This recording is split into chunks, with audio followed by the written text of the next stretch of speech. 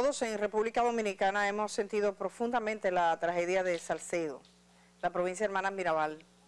Yo he estado en Salcedo eh, más de una vez y a mí me encanta la manera en la que la gente de Salcedo se organiza, participa, no importa el partido, son activos, solidarios, tienen mucha vida, museos, vida cultural, eh, trabajan como en comunidad. Sus calles, usted ve la expresión de su historia. Y, bueno, el carnaval no es la excepción. En Salcedo hay una cultura de organizar su, su carnaval. Entonces esta tragedia, que no fue más que una chispa que prende un conjunto de material que no debía estar ahí, en una cueva de la, como ellos le llaman, de un grupo de la que tenía su, su comparsa para, la, para el carnaval, ha llenado de luto a varias familias. Ya son seis familias cuyos hijos han muerto producto de las gravísimas quemaduras. En un primer momento yo estuve conversando con personal que dio asistencia y nos dijeron de, la gravedad de esas quemaduras y nos alertaban de que el número de muertos iba a ser alto. Obviamente no me refería a eso por prudencia, porque es llevar más dolor e intranquilidad a estas familias, no ayuda a nadie y había que dejar que los médicos hicieran su trabajo, pero así resultado ser demasiado ¿no? Los niños estaban vestidos con sus trajes, con mucho papel, papel crepé, que se incendió y fueron bolas de fuego, todos lo vieron. Yo no pongo eso. Yo no pongo eso porque eso perturba tremendamente. Yo no quería ni verlo. Yo tengo hijos, tenemos parientes, somos personas y todo el que tiene a alguien sabe. O sea, es muy duro, es muy triste porque es una pura diversión. ¿Quién no ha llevado a sus hijos a un carnaval, lo ha vestido? La ilusión que se tiene para participar en algo que no debe terminar en tragedia. Ahora hay una pregunta aquí. Incluso más allá de la persona que compró los, los fuegos y que lo llevó, que es un señor que ha tenido un preinfarto, y que yo pienso, ese señor se le murió su hijo, un niño especial que también se quemó, que él lo vi dándose en el pecho cuando lo arrestaron. Me dio una tristeza porque todo es pena ahí. Y la misma comunidad dice, óyeme, ese hombre, todo el mundo sabe que no fue que él quería matar a alguien. Ahora, aunque no sea la intención matar, hay alguien que violó la ley de forma clara y que tiene que saberlo. Esa es la persona que vende los fuegos artificiales. De hecho, un especialista en el área de asistencia a quemados me llamó y me dice, Diti, ¿saben ustedes quién fue que vendió y dónde se compró esos fuegos artificiales? Pues eso está prohibido en el país, hay gente que lo sigue haciendo. Y algunos han contado incluso con complicidad en ciertos momentos para hacerlo. Yo quiero presentarle la fotografía, la han difundido hoy, del hombre que fue responsable de vender desde su establecimiento la, materia prima que terminó con esta gran tragedia. Su nombre es Guillermo García Perdomo, tiene 48 años de edad, está acusado de distribuir los fuegos artificiales que terminaron con esa dolorosísima y terrible tragedia en Salcedo. La Oficina de Atención Permanente del Distrito Judicial de la provincia de Hermanas Mirabal ya le ha impuesto una medida de coerción consistente en presentarse de forma periódica ante las autoridades, ante la Fiscalía y firmar por los próximos seis meses. Yo para mí que tiene mayor nivel de responsabilidad quien anda vendiendo, los comerciantes, que incluso quien compra, aunque debemos repetir el mensaje y decirle a la gente no compre esa desgracia. Es una desgracia, eso lo manejan gente especialista. Si usted quiere ver fuegos artificiales, hay, hay empresas que se dedican a eso. Se le paga ahora a la gente que no, que no tiene que fumigar, quiere fumigar con tragedia. Que no tiene que tirar fuegos artificiales, quiere tirar fuegos artificiales.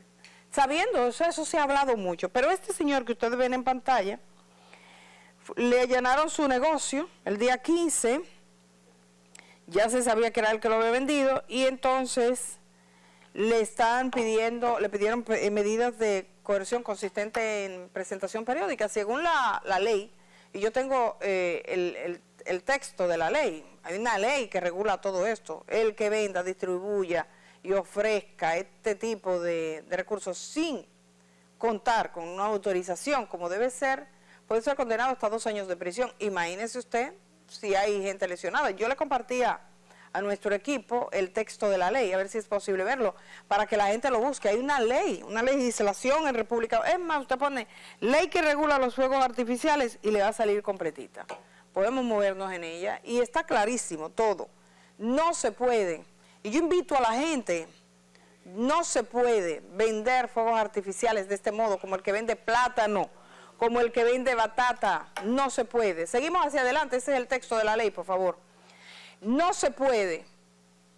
Y está penado por la ley. Y hay que regular eso. Y a la gente en todas nuestras comunidades, a las familias, que por favor se extengan de comprar tan eh, peligroso y riesgoso producto. Yo recuerdo, yo recuerdo que Uchilora hizo una campaña intensa hace unos años para que se prohibiera la venta de fuegos artificiales. Nosotros no concebíamos la Navidad sin fuegos artificiales.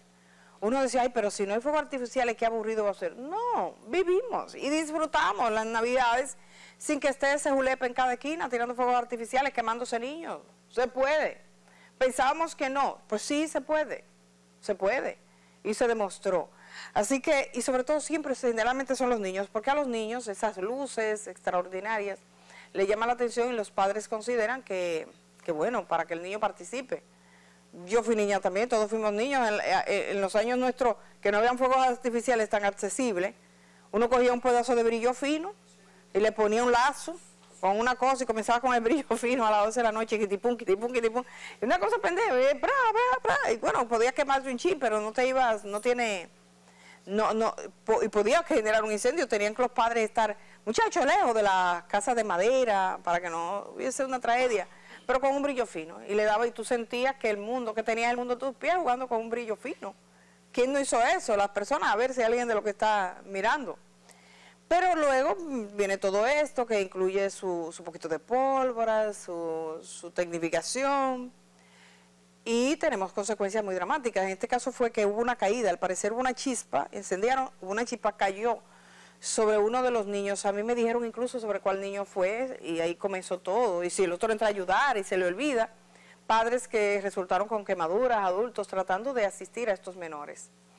Así que yo quiero aprovechar el final de este programa para saludar que se judicialice a quien vendió y darle un abrazo a todas las familias de la provincia de Hermanas Mirabal, de Salceo, que han resultado afectadas. Uno espera que se, se recuperen. De ese tipo de heridas, la familia no se recupera nunca. Siempre podrías pensar, si no hubiese ido, si hubiese llegado más tarde, esa es la vida. Estaba ahí, le tocó. Y es una pena y son niños y yo me quedo con el rostro de ellos vivos. Y le pido a la gente, compartan su rostro vivo, no pongan esos videos de ellos quemándose, que no tiene caso, duele demasiado. Y en República Dominicana, ríen la voz, no deben utilizar este tipo de recursos.